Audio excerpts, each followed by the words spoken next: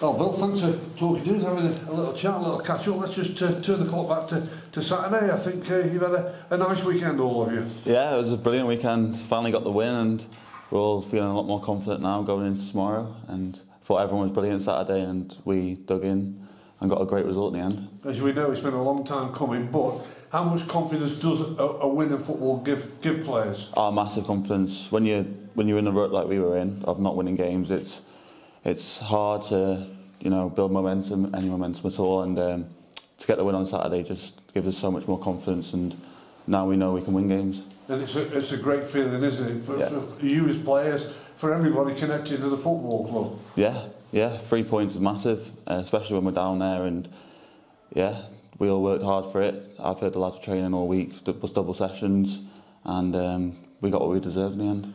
Has that been good, the, the way that you, you've gone about, you know, the, the, the sort of the build-up to, to try and get that win, and then it all comes together on a Saturday? It makes you feel feel even better, does it? Yeah, well, I was away for the week, and um, I came back on the Thursday, and uh, the gaffer and Kenny were drilling us in on what they wanted us to do on Saturday, and I thought we um, did exactly what they asked for. We played football and pla uh, passed it really well, I thought.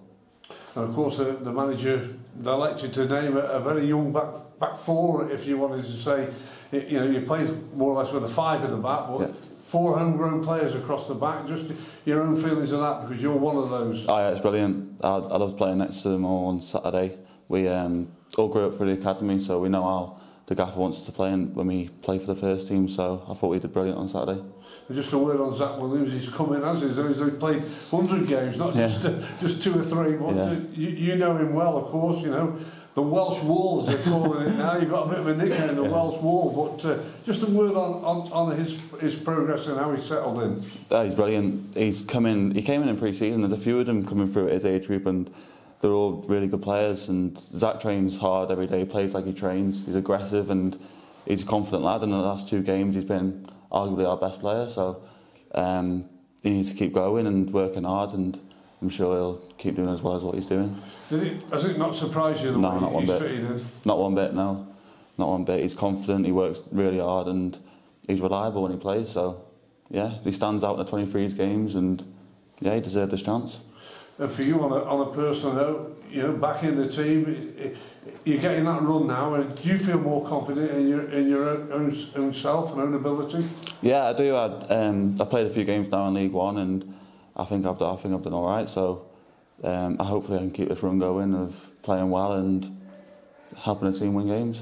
And how good does it help you when you cope against the likes of John Akinde was the last game, and you play some, up against some bigger, you know, centre forwards as well? How much does that give you that you, you're coping?